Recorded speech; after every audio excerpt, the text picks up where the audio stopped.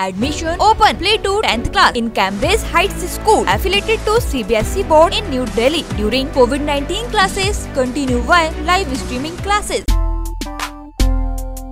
सागर जिले के गड़ाकोटा से निकली सुनार नदी में बुधवार सुबह एक युवक ने छलांग लगा दी 22 साल के नीरज कोरी को नदी में कूदते देख लोगों ने तुरंत पुलिस को सूचना दी पुलिस मौके पर पहुंची स्थानीय गोताखोरों ने युवक की तलाश की लेकिन नदी का बहाव तेज होने के कारण युवक का कुछ पता नहीं चला इसके बाद सागर से एसडीआरएफ की टीम को बुलाया गया है एसडीआरएफ की टीम सुनार नदी में युवक की तलाश करने रेस्क्यू शुरू किया है नदी में रेस्क्यू चल रहा है लेकिन खबर लिखे जाने तक युवक का पता नहीं चल सका है